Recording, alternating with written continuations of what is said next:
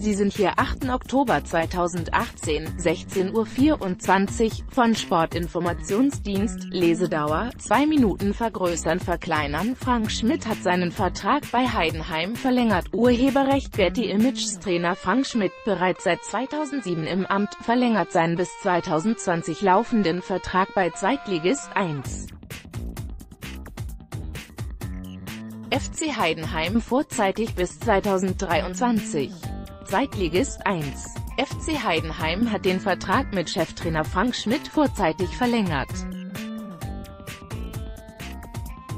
Der 44-Jährige, dessen ursprünglicher Kontrakt bis 2020 lief, unterzeichnete einen neuen Vertrag bis 2023. Schmidt ist seit 2007 als Cheftrainer bei den Heidenheimern in Amt und Würden. Damit ist er mit großem Abstand der dienstälteste Trainer im deutschen Profifußball. Auch nach über elf Jahren als Cheftrainer beim FCH bereitet mir meine Arbeit nach wie vor unheimlich viel Spaß und Freude, sagte Schmidt.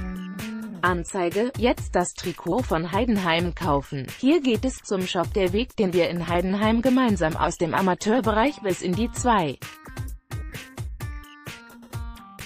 Bundesliga gegangen sind, ist etwas ganz Besonderes im Profigeschäft, fügte der Trainer hinzu. Bei Schmidts Amtsübernahme hatte Heidenheim noch in der Oberliga gespielt. 2014 gelang nach den Zwischenetappen Regionalliga und 3. Liga der Aufstieg in die zweite Bundesliga, von Sportinformationsdienst.